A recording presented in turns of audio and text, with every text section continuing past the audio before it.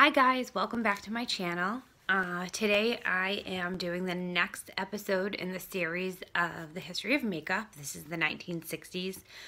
This was a much um, more fun look to do. Uh, it was a lot different than the 50s and 60s in case you couldn't see. Um, and a lot happened in the 60s as far as makeup was concerned. So let's dive into the information and then we will move on to the tutorial.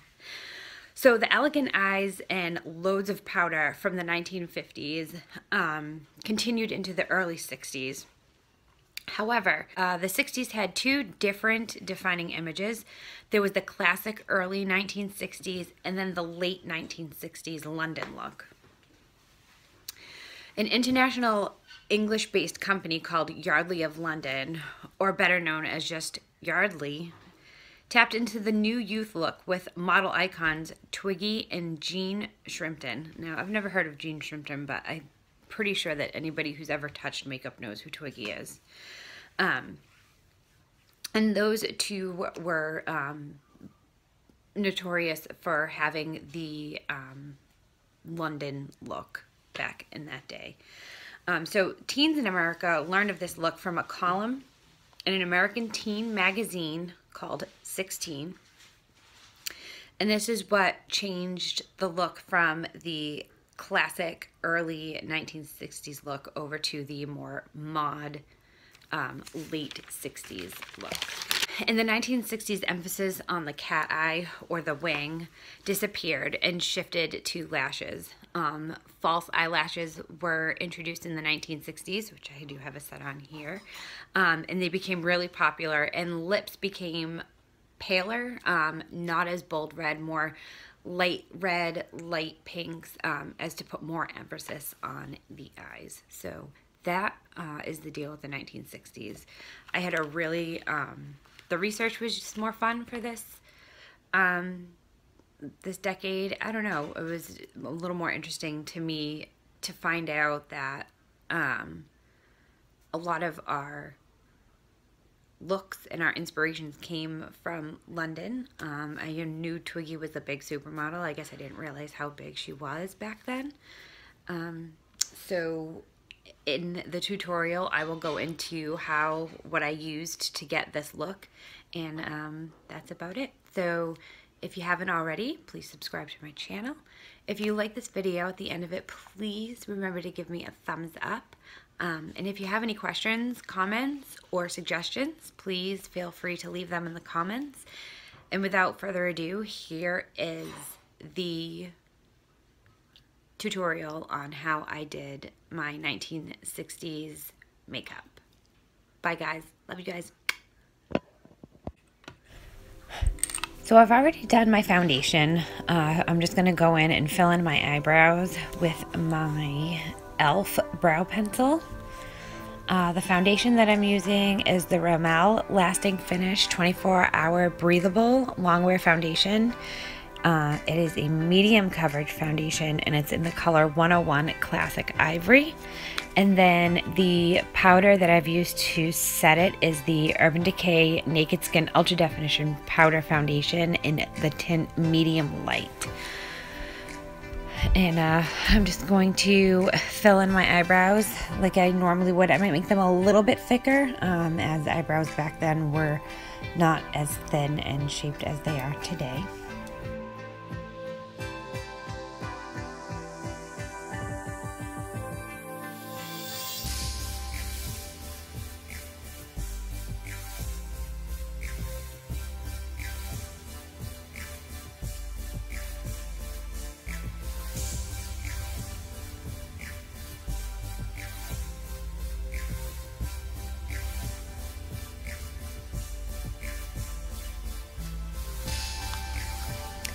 Okay, so now I'm going to do my eyes. I'm going to use the Milani Smoky Essentials Everyday Eyeshadow Collection in palette number three. Um, blues, grays, and whites were really big in the 1960s. I thought this would be a perfect palette for me to use. So I'm just going to start with the lightest color and blend out uh, my eyes until I have a nice smoky blue look.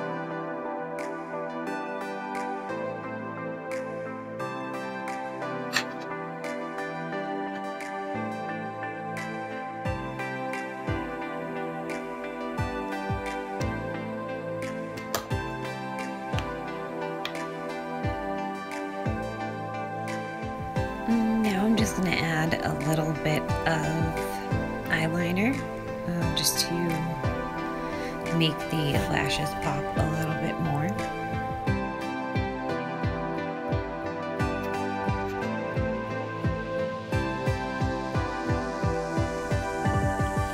And just to add a little bit of retro glam to this look, I'm going to go ahead and add some white eyeliner to the water lines of my eyes and I'm also going to put some white eyeliner on top of the black liner that I used um, over the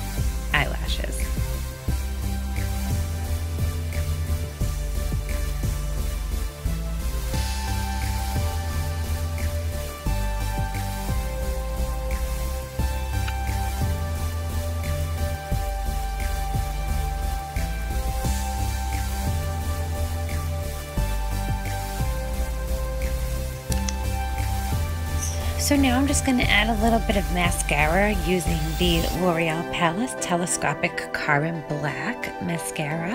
Um, I'm going to put it on really thick on the lower line, on the lower lash line because they actually used to put false eyelashes down there. I don't think I'm that good, so I'm just going to try to pile on the mascara so that it looks thick. And then just add a little bit to the top just to hold my real lashes to the false lashes.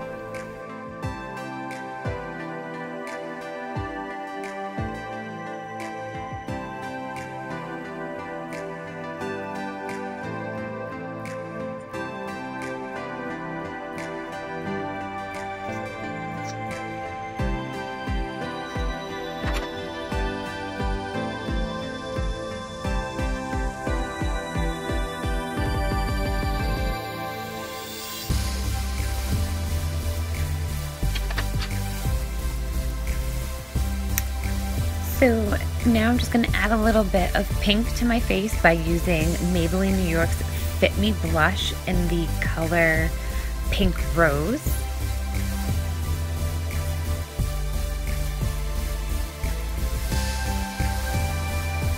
And then to top it all off, I'm just going to use a little bit of the NYX HD Finishing Powder.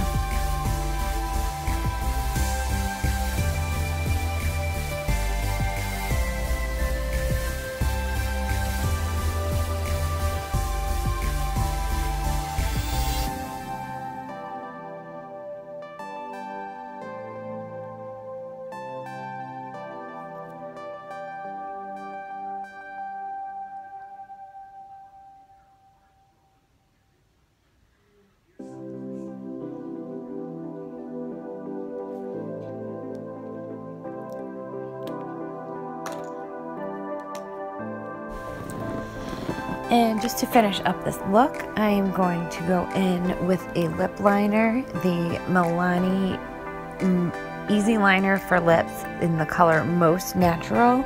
And then over that, I'm going to be putting on Milani lipstick in the color Dulce Carmelo. And there you have it. There's my final 60s look. I hope you guys enjoyed this video as much as I enjoyed making it. I love you all, and I will see you soon.